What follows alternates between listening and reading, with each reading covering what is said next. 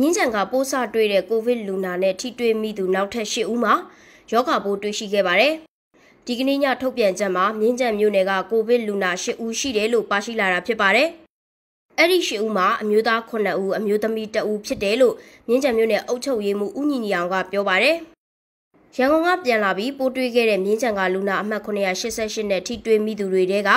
ဇနီးနဲ့သားဖြစ်သူမန်နေဂျာတူနာပြုအကူတို့၄ဦးတို့ကိုပထမဆုံးပိုးတွေ့ခဲ့ပြီးနောက်ဒီကနေ့တွေ့ရတဲ့၈ဦးအပါအဝင်ဆိုရင်စုစုပေါင်း12ဦးကူးစက်ခံရတာဖြစ်ပါတယ်။မြင်းချံမှာလည်းကွာရတင်းဝင်နေသူ190ကျော်ရှိတယ်လို့သိရပါတယ်။ဒီကနေ့ပိုးတွေ့လူနာ၈ဦးကိုတော့မြင်းချံဆေးရုံမှာကုသသွားမှာဖြစ်တယ်လို့သိရပါတယ်။